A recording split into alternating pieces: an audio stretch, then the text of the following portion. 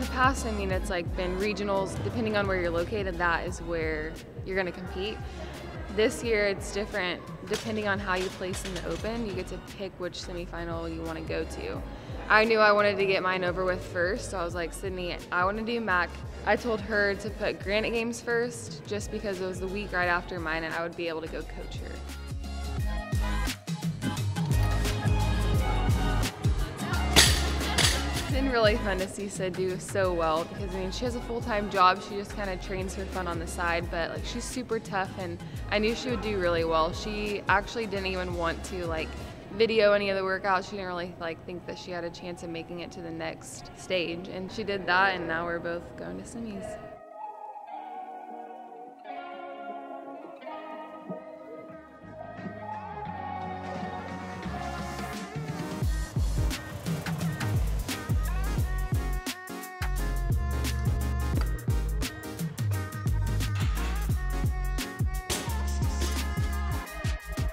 My mindset going into this season just has been to keep going.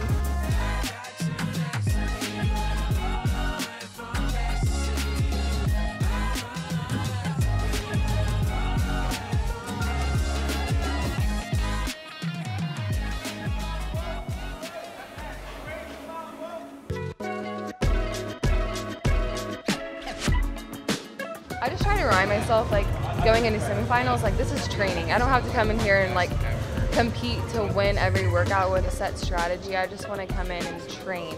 I think a lot about this season is staying in my own lane. I train with a group of people that are so fit. Doing that in training is going to pay off huge in competition.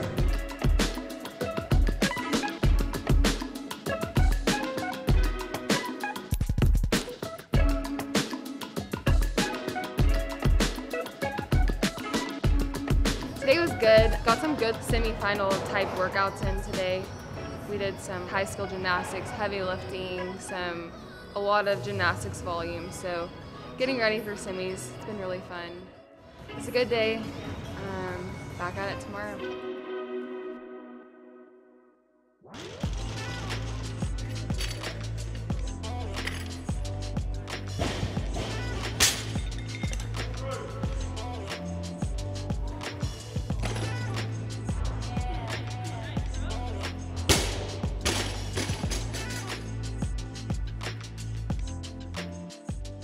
That we started being competitive early on childhood. Always wanting to be like the better twin, better at athletics, um, or like school stuff. It's just literally been a competition our whole lives. Yeah, it definitely took a little bit of getting used to asking her questions. Especially like growing up being competitive, for her to like kind of take a step back and be like, okay, yeah, I will let you help me now. yeah, It's different. I believe that what you see with Brooke and Sydney is, is certainly that a mentorship between the two. Brooke having so much more experience, years in the sport, and then passing on knowledge or supporting uh, Sydney coming through the ranks essentially is what we're seeing. Watching her in the gym, we have a lot of the same tendencies and the same mannerisms, whether it's the way that we move and technique is kind of similar. So when I see something maybe that Shane has told me to do before, I see it in her and I'm like, okay, that's what he's talking about. Like, I'm doing that also. So like trying to help her is also helping me in a way.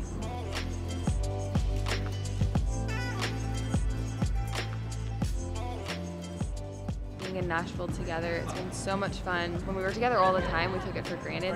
Then two years apart, now we appreciate it more.